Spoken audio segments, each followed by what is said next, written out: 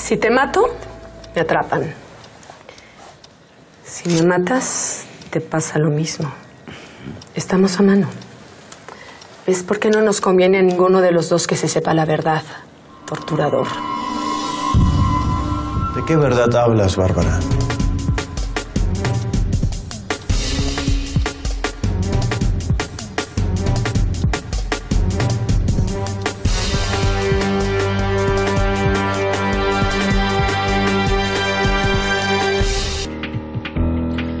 De la única verdad que hay en esta sala, mi amor. Que el coronel, amparado en su autoridad, arrestó a una pobre anciana. Esa es la verdad que no conviene que se sepa. ¿No le parece, coronel? Esa es la verdad que la doña quiere saber. Voy a ser complaciente. Voy a azotar la vieja. Espérenla afuera. Gracias, coronel.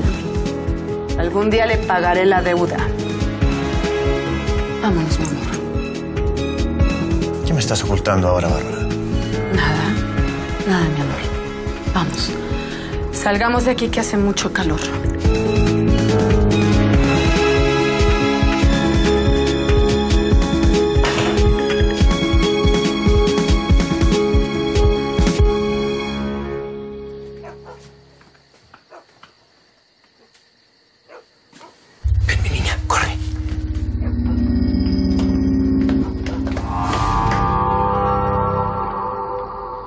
Te lo dije, no me pasa nada. Estoy. Estoy cansada del viaje, eso es todo. Anoche no dormí bien y para colmo cuando llego me encuentro con esta estupidez. ¿A quién se le ocurre meter presa a una anciana? Solo a un estúpido como él. Mi doña, eh, ya se pueden llevar a la señora. Barbarita, mi niña.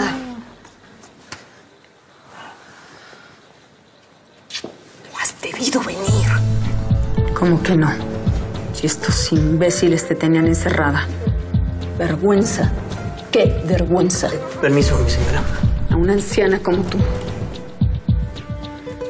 ¿Estás bien, mi viejita? Me duele todo el cuerpo de estar ahí sentada en ese camastro. Me ha dado lumbago. Tenemos que hablar. Después. Ahora vámonos para el miedo. Bárbara. Meléndez dijo que soltaría a Eustaquia solamente si tú venías personalmente a buscarla. ¿Qué tanto interés tenía en verte? Quería conocerme, eso es todo. El hecho de que sea tu mujer no quiere decir que no siga levantando pasiones entre los hombres santos.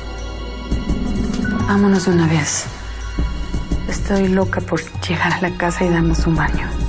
Vámonos, viejita.